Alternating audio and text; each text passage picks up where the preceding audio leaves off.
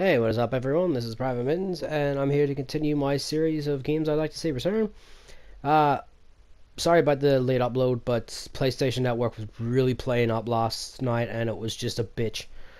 But uh, what do you expect for a shitty service? But anyhow, let us get to the game in questions. That is the Red Faction series, and I hope you guys enjoy it. Let us begin. Red Faction 1 was released in 2001 for the PC and PlayStation 2. This is sitting at a current 88% on Metacritic.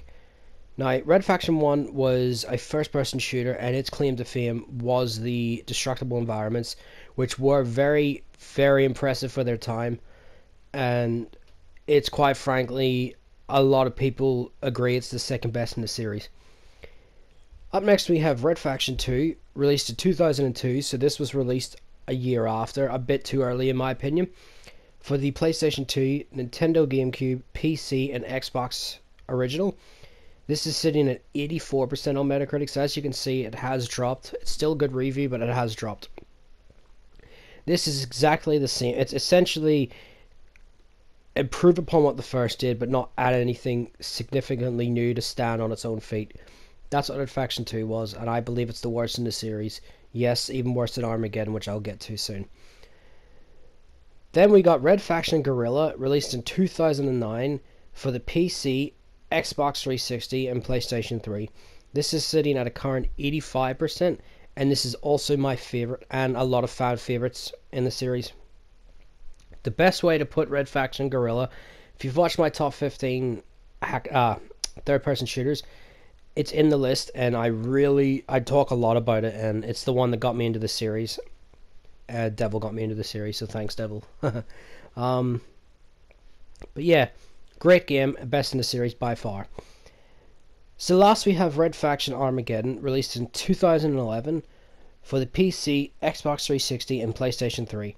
This is sitting at 75% on Metacritic, so it is the lowest out of the four games, but I believe it to be not the worst out of the four.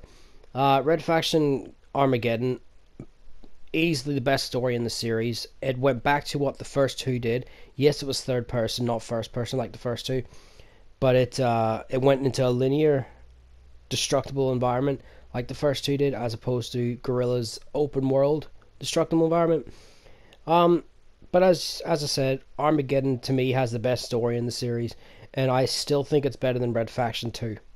If I was to rate them in order, it'd be Guerrilla, then Red Faction 1, then Armageddon, and then Red Faction 2. But, uh, yeah, let's actually talk about what I would like to see from the series. I'd like to see a reboot. Now, for anyone that hasn't played it, I'm not going to spoil anything. All I'm going to say is they're all set on Mars, and you are a colony that was once, you know, Earth's colony, and you essentially want to, you know, leave the colony and become your own, you know, planet essentially. That's all I'm saying in the story. They can do that in the reboot, but I think it just needs to be flushed out more because they never really did it that well in the series.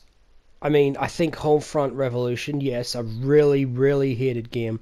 I've recently just finished playing it, and I think it did a pretty good job of what it was trying to do. Yes, it wasn't perfect, but I think it did not otherwise a decent job. I think Red Faction needs to step its game up if it ever gets released again.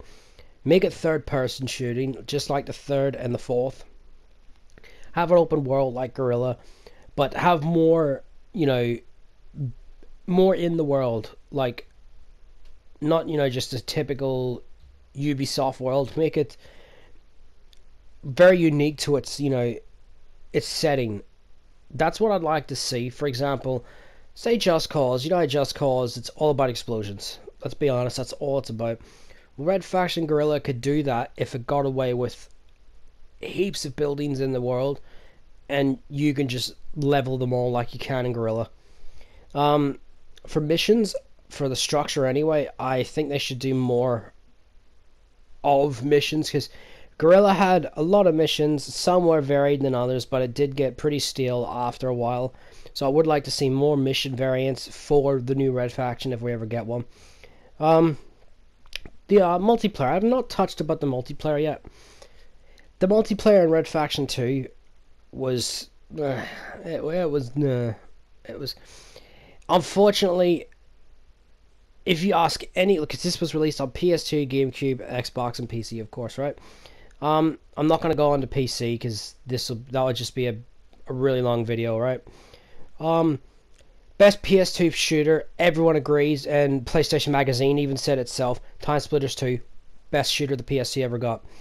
GameCube even said Metroid may be the best shooter exclusively, but Time Splitters 2 was the best shooter on the system for multiplayer. Xbox, yes, Halo 2 and Halo 1 were the best on the system, were definitely respectively. But Time Splitters also came third for that system. Do you see what I'm getting at? Red Faction just wasn't, you know, it just wasn't good. And I think that's where I'm going to talk about Guerrilla now. Red Faction Guerrilla's multiplayer was actually pretty good. It was really enjoyable. And it's fun. I mean, granted, I don't think you're going to find anyone playing the console versions anymore. PC, I'm not too sure. But Guerrilla's multiplayer was actually pretty cool. And that was surprising. Armageddon, I never played the multiplayer, but from what I've heard, Armageddon's multiplayer was just like Red Faction 2's. It was just there, essentially. But if you're going to do a multiplayer, give it, you know, that guerrilla kind of feel to it, because it was the best. Um, how about a uh, how about a map editor where you can just like, any, here's an example actually. The best map editor a console has ever got for a shooter was Far Cry 2 because it you built the map from the grind up and sorry about that but anyway you built the gra- uh, the map from the grind up where essentially you could put trees scrubs buildings anywhere you wanted on the map. It wasn't limited to say some generated map editors you get in some games. Now i would like to see red faction do this where you can actually build a map and like obviously because of the destructible environments you just lay waste to everything. And it would be really really fun. That like with the map editor i would actually play a lot on if they brought uh, you know put a new one out.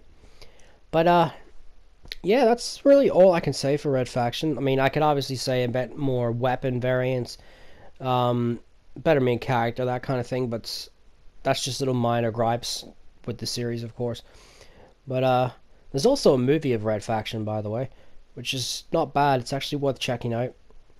But uh, yeah, I mean that's that's really it. I mean, I probably I would probably say they would release Guerrilla HD sometime. I, I could see it coming, especially when they did Saints Row, uh, Get Out of Hell or whatever it's called.